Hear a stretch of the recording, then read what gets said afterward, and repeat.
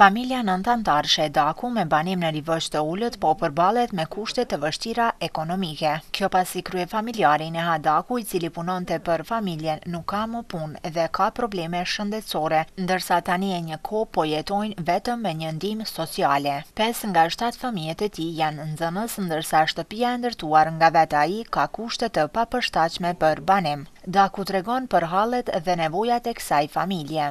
Unë me hekra mbledh që një kohë t'gjatë hekra mbledh me fëmijë, kështu dalin nëpër hekra nëpër ku t'muj, me hekra jes gjollë. Kështu edhe një ndihmë sociale e marr. Që ka që.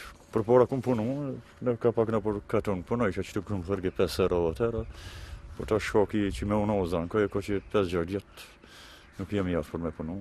Ai shton se disa herë ka kërkuar ndihmë nga Komuna e Gjilanit dhe e Kamenicës, ndërsa janë edhe në listë të Shoqatës Jetimët e Ballkanit, por deri më tani nuk kanë marrë përkrahje, ndërsa jetesa po bëhet çdo ditë e më e vështirë, pasi nuk po arrijnë të sigurojnë as ushqimet e mjaftueshme për të gjithë anëtarët. Ai ka kërkuar nga njerëzit e vullnetit të mirë t'i ndihmojnë me aq sa kanë mundësi. U kon mirë ata që i kanë mundësitë, I kanë mundësit me m'nimu, e për mirë, kush ko mundësi, është mirë, sepse gjendjen e kam për do këtë edhe dhe që shështë, gjendjen e kam shumë t'shtirë edhe me kushte edhe me shpi pak jam, jam ngusht, jam vetëm nëntë anëtarë me një dhomë, jemi, edhe s'i kam edhe kështu kushtet më nëna, s'i kam të mira, kush ko mundësi, Kush ko, kush i ka rrethanët është mirë me mujtë me m'nimu. Familja Daku ka prejardhje nga fshati Lajçiq i komunës së Kamenicës dhe është zhvendosur në fshatin Livosh të Ulët të Gjilanit tani e dhjetë vite.